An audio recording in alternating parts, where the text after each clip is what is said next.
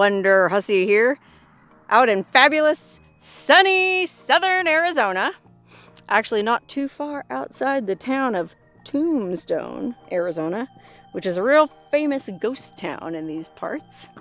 But I'm here at a lesser known ghost town just outside Tombstone called Gleeson. And though you've probably never heard of it, Gleeson was actually a really interesting place and was noteworthy for being the site of one of the last Wild West shootouts. okay, in 1917. Imagine 1917, you see people driving around San Francisco in those old timey cars, guys going over to well, fight World War One. You know, those were like modern times. well, not so much down here. I guess back in those days, uh, Arizona was a dry state. I think they passed a bill in 1915 uh, banning the sale of alcohol in the entire state of Arizona. So down in this little corner where we are, uh, we're not too far from Mexico, and we're not too far from New Mexico, both of which were wet. So there was a lot of alcohol smuggling going on down here. Oh gosh, back in the, well, the 19 teens. Mexican alcohol smugglers would uh, come up from Mexico, come up through the Chiricahua Mountains, which aren't too far from here. I don't think that's them, but in this area. And uh, they'd strap like cases of booze to, to donkeys and like carry them through the mountains and then, you know, bring them to the, well, bring them to the thirsty folks in Arizona. This was before Prohibition, so, you know, booze was still legal in New Mexico and uh, California, everywhere else. Just for whatever reason, Arizona had to be dry. And well, the Mexicans were gonna see to it that they didn't have to suffer. So apparently, this the last shootout, or one of the last shootouts, was in uh, March. I think it was March fifth, nineteen seventeen. I think it was the sheriff and his deputy were driving around the Chiricahua Mountains uh, looking for smugglers in an Oldsmobile touring car. Okay, this remember it was 1917, so some old-timey Oldsmobile. Sheriff and his deputy are driving around looking for smugglers all day, and after a long day of driving, they started heading back towards Gleeson. And well, started to get dark. And back then, you can imagine, well, the roads weren't anything like they are now. So it really wasn't safe to drive. And they ended up, well, they ended up pulling over about two miles outside Gleeson to camp out for the night. So I guess the story is they rolled their blankets out on the desert floor next to the railroad tracks and had just sort of bunked down for the night when all of a sudden, gunshots! I think it blew up the windshield of the car. There was Mexican banditos firing on them. Yikes! Well, I guess the sheriff grabbed a box of ammo and his rifle, and they both got flat down below the railroad grade uh, on the other side from where the shots were coming. And they kind of figured out, they, they couldn't see obviously what was going on, but there was an unknown number of presumed banditos firing on them.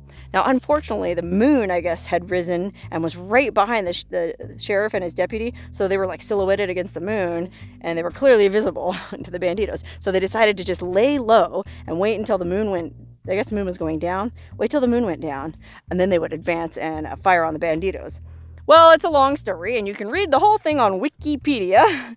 But after a bunch of shooting back and forth, I guess the sheriff did finally manage to shoot and wound one of the banditos to where all the Mexicans retreated back off into the hills. And in the morning, the sheriff and his deputy went over and saw like horse hoof prints going back into the mountains and bloody knee prints from the one guy they shot, like dragging himself. And they found the cases of whiskey. so I guess the shootout wasn't for nothing. They got the booze. Anyway, it took them like a month before they finally caught the banditos uh, going over Apache Pass in the Chiricahua Mountains, going back down into Mexico. And I don't think they actually ever did catch all of them, but they did at least apprehend one or two, and well, put them in the jail right here in Gleeson. So these days, I guess the Gleeson jail is privately owned by some people who are fixing it up. They've restored it, and I think there's a museum inside. Unfortunately, it's not open today, even though it is a Saturday, and according to their website, it's open on the first and fourth Saturday of the month. There's nobody here, but that's okay. We could still look at the outside, and there's also a bunch of other old buildings uh, and some old mining ruins here in Gleeson that we can go check out. I'm down here in Arizona on a ghost town tour.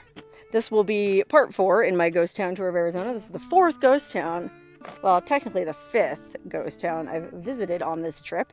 I'm out here rolling around with a friend of mine, just exploring the desert and enjoying the beautiful fall weather. Today is, well, as a matter of fact, today is Halloween. It's October 31st. and to that end, would you look what they did here at the Gleeson jail? Look at this old timey, uh, what, I don't remember what kind of car this is. Chrysler. they got a daddy skeleton, a mommy skeleton, and there's even a little baby skeleton in the middle in a, in a child seat. It's pretty funny. And for good measure, there's a bullet hole right in the window. Anyway, I'm not sure what all's around this area. Uh, my friend's been here before, but I never have. So we're just gonna go uh, hiking and exploring around. And well, to that end, I'm wearing my Arizona Ghost Town boots, which I'm hoping are rattlesnake proof because God, I'm sure all this dry country over here is just crawling with rattlesnakes. Even though it is almost November, it's still pretty warm. So we got to be careful. But I guess we're to get in the car and drive around and see what else we can see.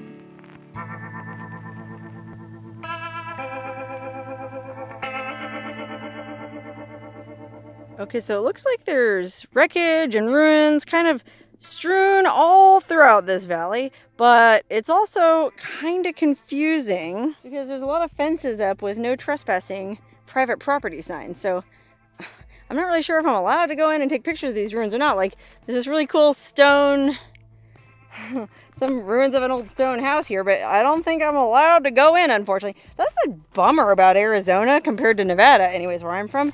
Uh, there's a lot of ghost towns in Nevada, but it's all BLM land, you know, federally managed public lands. So you're allowed to just go out and camp and hike and explore, and make videos, take pictures. Down here, everything's friggin' privately owned.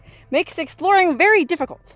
But that being said, we're to drive around a little bit more and hopefully we can find some stuff to look at that is not on private property.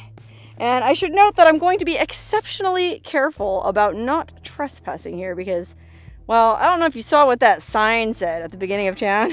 It said Gleeson, Arizona, population some, and then someone added, with guns. And you know, today is just not a good day to be shot.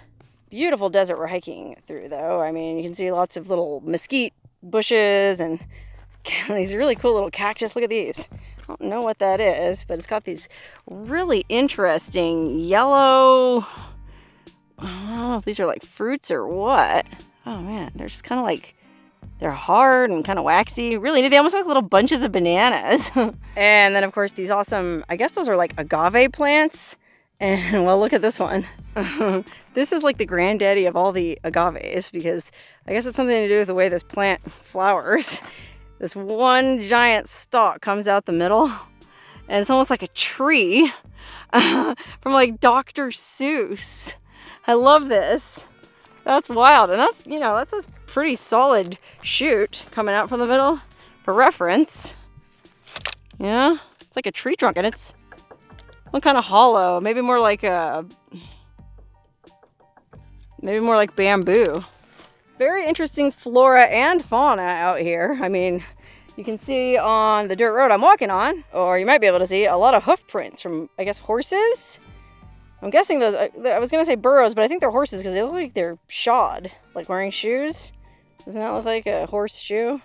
Either way, uh, I'm apparently sharing the desert today with not only rattlesnakes and wasps and scorpions and, well, some kind of horses or burros. There's probably even, oh, javelinas. Those little, they kind of look like a wild pig, but I think it's actually a rat, is what my friend was saying.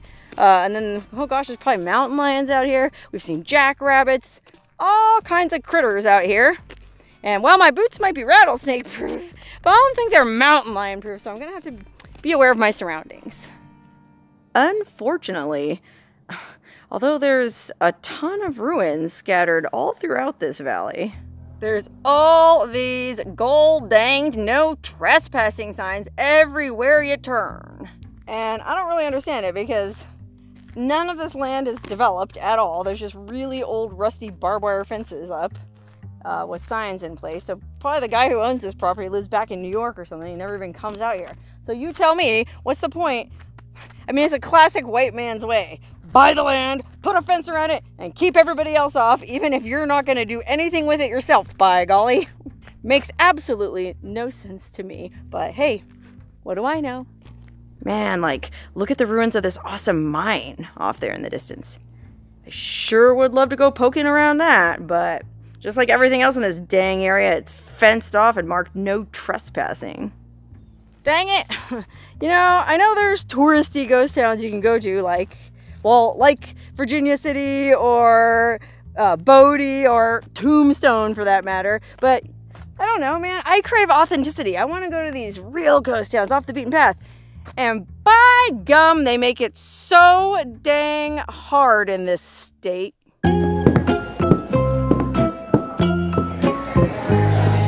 Well, hell. I ended up in Tombstone whether I wanted to or not. But hey, at least I didn't get shot in Gleeson. Although, I am about to get shot here in Tombstone. Yikes.